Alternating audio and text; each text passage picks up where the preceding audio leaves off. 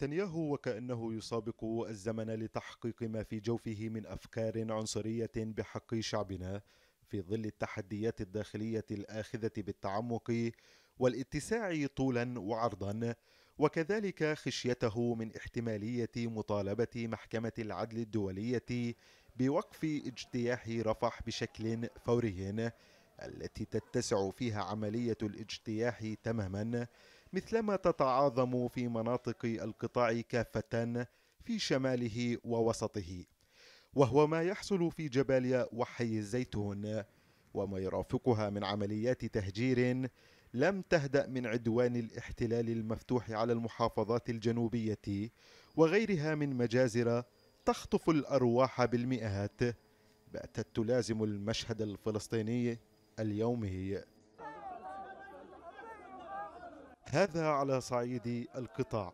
ولكن الاتجاه الثاني الذي ينشط فيه نتنياهو الموتور هو السعي الحثيث المباشر والفعلي لتقويض السلطة الوطنية الفلسطينية وفق ما أكده في الخامس عشر من أيار الجاري. إذ اعتبر أن المسعى الحكومي المركزي الإسرائيلي الأهم حاليا يتمثل في الإسراع في تقويض السلطة كي لا تكون بنية حكم ولا بدائل أمام أي مشروع دولي أو عربي بصدد مصير غزة والا تكون سلطة فلسطينية واحدة في الضفة والقطاع.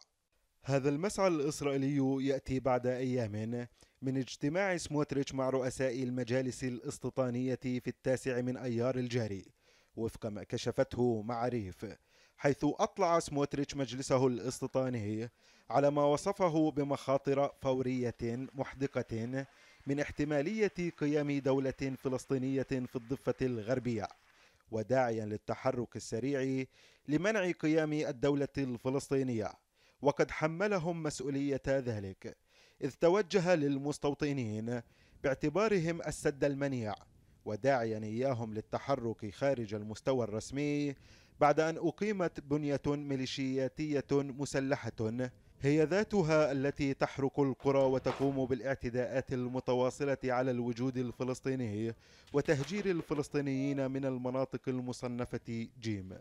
مراقبون إسرائيليون توقعوا تصعيدا نوعيا متعدد الوسائل الأمنية والاقتصادية والقانونية والاستيطانية لتقويض السلطة الوطنية.